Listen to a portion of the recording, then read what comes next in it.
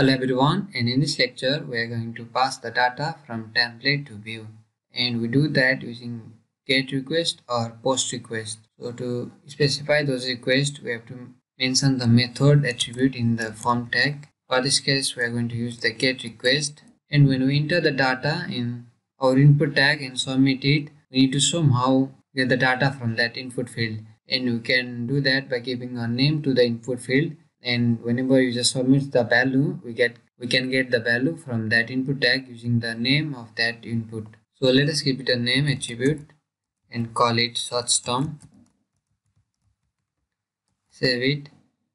And now if you go to the browser and refresh the page here when you search anything like friend you will see in the url bar we have a name called search term and the value friend.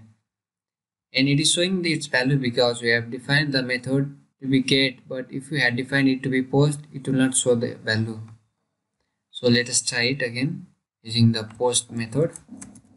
And refresh the page and now when we put any value and search it currently it is showing that we have a CSRF verification failed. So what it is doing is that it is protecting us from cross-site request forgery. So it is a security measure that Django takes to protect sensitive data. And whenever you use a method post we have to include a CSRF token in the form element. So let us do that. And inside the form element we have to include CSRF token. Save it. Now let us search the term again. And you can notice that we don't have any value here. And that's because we have specified the method request to be post not get. So the post request doesn't show any data in the URL bar but get request does and we can use the get request in where we are not entering any sensitive information but if we are entering something like our password then we should definitely use the post request. For this case i'm going to use a get request. Now save it. And whenever we submit a search result it sends a get request containing its name and value. So in our views we need to get the value that is stored in the get request. So let us do that in our views.py. Let us check if there are any value in the request.get. So we can do that by using if request.get. And if there are any value, we are going to get those value from the get request. So we need to get the search term. I'm going to call the variable search term and get the value from get request using request dot get and square bracket and the name of the input tag that you have in your form element in this case search term. So let us define it here. And to show that we have actually got this search term i'm going to pass a context that again will be called search term. And we'll assign its value to the search term. Save it and inside our search page and we are going to actually see if that search term displays or not. So inside of source results for, I'm going to change this friend text.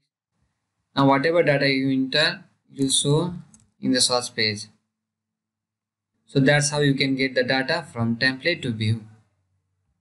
Let us also output the search term in the title tag.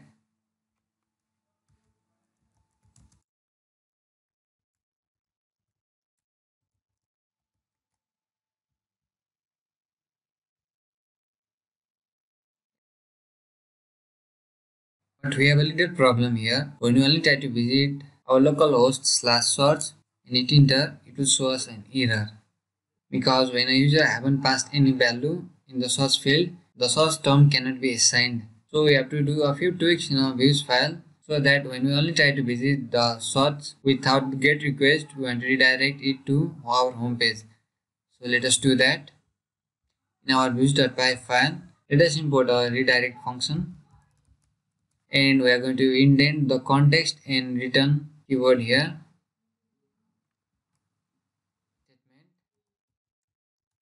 That will return or redirect to our home page when there are no source query submitted.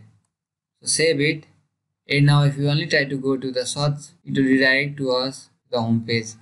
So what this view function is doing is that whenever we get a get request that contains some term. We want to paste that term from the request and pass it to search term and display our search template with that context. But if we are not getting any of the get request, we want to redirect it to our home page. So that's it for this lecture. Let us see you in the next one.